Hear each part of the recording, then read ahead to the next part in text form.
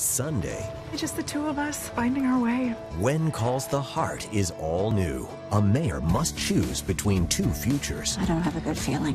There's something about him I don't trust. Will she listen to her heart? You are doing an amazing job keeping the town calm. And AJ Foster. I wondered if I'd see you again.